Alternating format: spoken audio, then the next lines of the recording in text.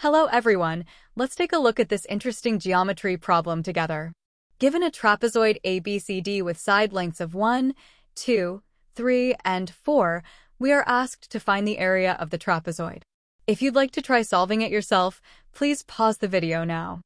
I will begin explaining the solution in 3 seconds.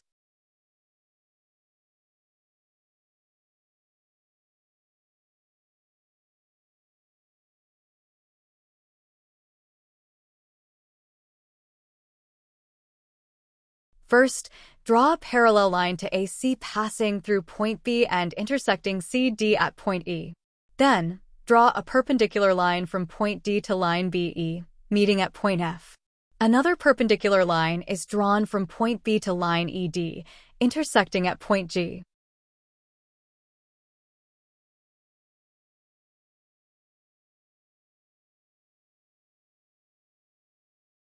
In the parallelogram ABC, with AB equal to 1, C is also equal to AB, which is 1.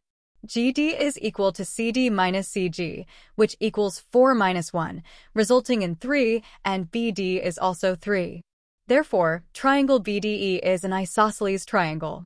According to the property of an isosceles triangle where the angle bisector, median, and altitude are concurrent, we find that DF is the median of BE, meaning BF equals FE and B equals AC, which is 2. Hence, BF equals FE, which equals 1. By applying the Pythagorean theorem in right triangle FED, we find that the length of FD is 2 times the square root of 2.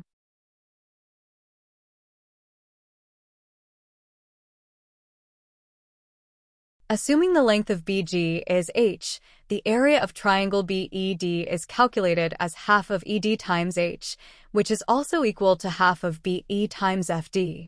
Solving this equation, we find the value of h to be 3 quarters times the square root of 2.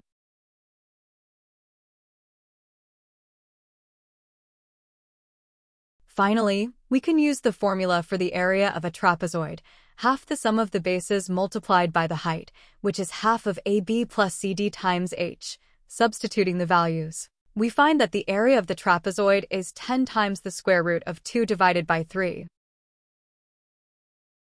I hope this video has been enlightening for you. If you have a better solution, feel free to leave a comment in the section below. If you enjoyed this video, please remember to subscribe, like, and share. Your support is the driving force behind my continuous creation. Thank you, and see you in the next video.